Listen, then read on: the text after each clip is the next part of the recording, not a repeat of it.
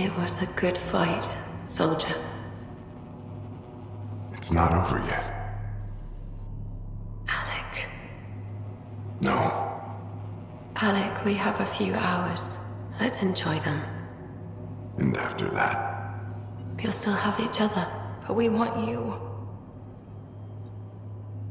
I love you, Mom.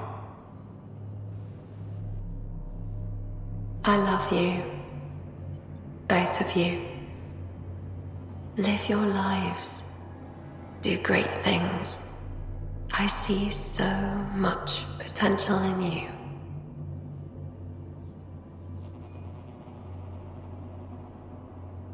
And remember, fall in love. At least once. We'll let you guys talk. Say it, Alec. Say it. Then I will.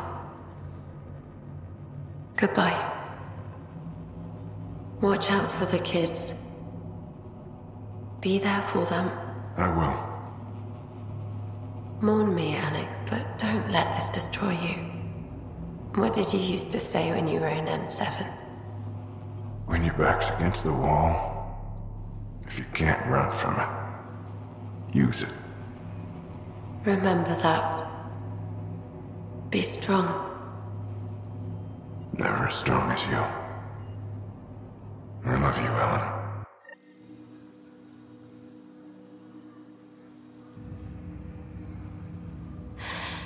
I... I didn't expect that. Death remains an elusive concept for me, a finite end in a cosmos otherwise filled with infinite possibilities. I don't think it's the end. Mom didn't just disappear forever. Where did she go? I don't know. I like to think existence somehow continues. In which case, my failure to save her may not be total. Your father hoped I would cure her. Nobody can conquer death. Not you, not my dad. It was fate. And yet, paradoxically, at that moment I gained a greater understanding of life.